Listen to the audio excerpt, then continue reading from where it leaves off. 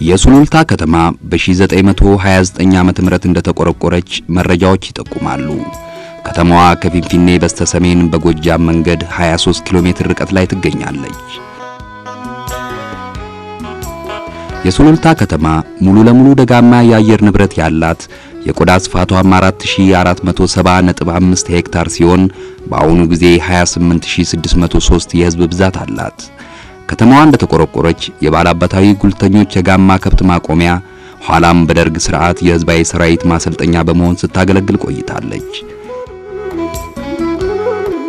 የሱሉልታ ከተማ በ1999 ዓ.ም የኦሮሚያ ክልላዊ ብሔራዊ መንግስት በሰጣት ልዩ ትኩረት ለመኖሪያና ለኢንቨስትመንት ባላት አመችነት የብዙ ነዋሪዎችና ባለሀብቶችን ቀልብ ሳበች። በዚህም ምክንያት ሁለተኛ ኤ ከተማ እንድትሆን ተደረገች።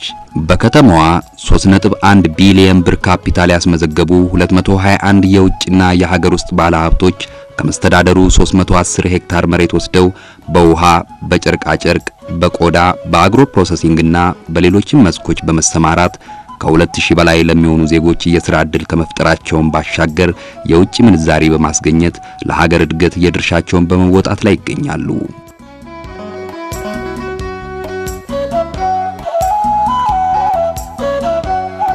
ባለሀብቶቹ ከፈጠሩት የሥራ ዕድል በተጨማሪ በከተማዋ የአነስተኛና ጥቃቅን ፖሊሲን ሥራ ላይ በመዋል ከ200 በላይ ማኅበራት ተደራጅተው 2000 ለሚሆኑ ሥራ አጦች የሥራ ዕድል ለመፍጠር ተችሏል። እነዚህ ማኅበራት ዛሬ ከ8.1 ሚሊዮን ብር በላይ አፍርተዋል።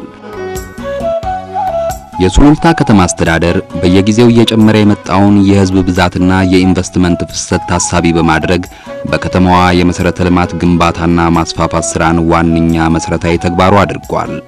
በዚህም ሕዝቡንና ባለሀብቱን ተጠቃሚ ለማድረግ ተችሏል። እነዚህን መሠረተ ልማቶች ለማከናወን የከተማ ገቢ ምንጭ ላይ በትኩረት እየሰራ ዓመታዊ ገቢውን ማሳደግና የህብረተሰቡን ተሳትፎ ማዳበር ወሳኝ ተግባሮች ነበሩ። በዚህም መሰረት ዛሬ የከተማዋ ዓመታዊ ገቢ ከ44 ሚሊዮን ብር በላይ ለማደግ ችሏል። ህብረተሰቡም በ2003-2004 ብቻ ከ12.8 ሚሊዮን ብር በላይ ለልማት ሥራው አዋጥቷል።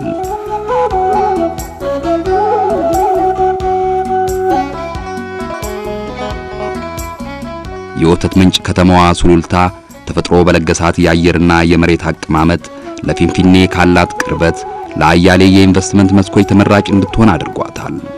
አሁንም ሱሉልታ ከተማ በጭስ አልባ ኢንዱስትሪ፣ በሆቴልና ቱሪዝም፣ በሪል ስቴት፣ በከርሰ ምድር ውሃ ምርት፣ በአትሌቲክስ ማዕከል፣ በማህበራዊ አገልግሎትና የገበያ ማዕከል እንዲሁም በአግሮ ፕሮሰሲንግ ለመሰማራት ፍላጎት ያላቸውን ባለሀብቶች ለመቀበል ዝግጅቷን አጠናቃለች። ስለዚህ በሱሉልታ ምድር ቀድሞ በመገኘት ኢንቨስት ያድርጉ፣ ትርፋማም ይሆናሉ። ኑ ወደ ሱሉልታ አብረን ለልማት እንነሳ፣ አብረን እንደግ።